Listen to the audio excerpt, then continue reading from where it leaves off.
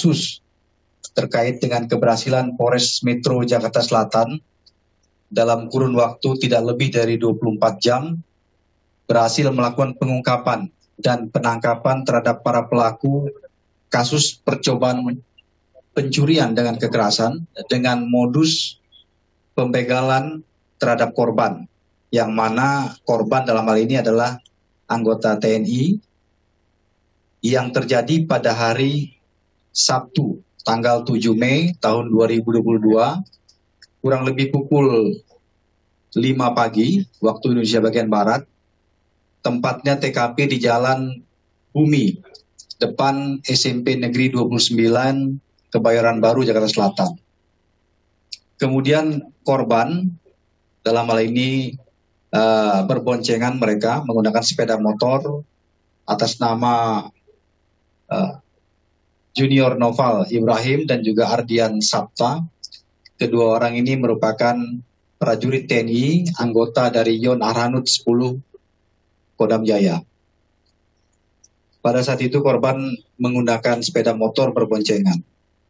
Kemudian para pelaku yang sudah ditetapkan sebagai tersangka dalam kasus ini ada sembilan orang.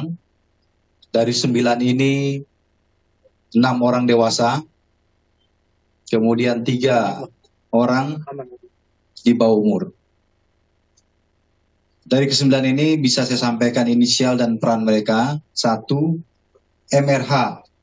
Ini MRH ini yang pertama kali berhasil diamankan ya oleh korban. Kemudian dilakukan uh, pemeriksaan dan pengembangan oleh penyidik sehingga berkembang kepada pelaku yang lain. MRH laki-laki 20 tahun, perannya eksekutor yang melakukan percobaan pencurian. Kemudian yang kedua, MRM, ini laki-laki 19 tahun, peran mengelilingi korban untuk melakukan percobaan pencurian.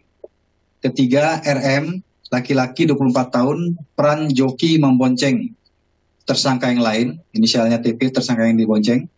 Kemudian NB, laki-laki 16 tahun, peran mengelilingi korban untuk melakukan percobaan pencurian. Kemudian yang kelima, FR, laki-laki 17 tahun, peran joki yang membonceng tersangka MRM. Kemudian yang keenam, TP, laki-laki 21 tahun, peran melempar dengan menggunakan satu buah batu konblok ke arah korban yang nanti kami tampilkan karena ini menjadi uh, alat bukti yang bisa kita sita. Kemudian yang ketujuh MAH, saya ulangi MAH, ini usianya 15 tahun.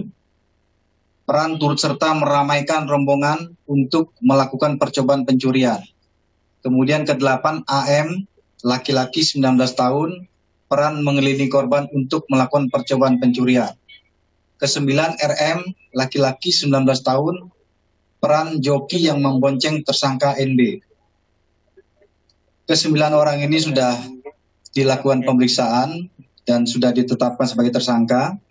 Akibat perbuatan yang dilakukan para pelaku tentunya penyidik setelah melakukan pemeriksaan dan sudah mentersangkakan mereka ya dengan sangkaan pasal 53 KUHP junto pasal 365 KUHP dengan ancaman pidana paling lama 9 tahun penjara.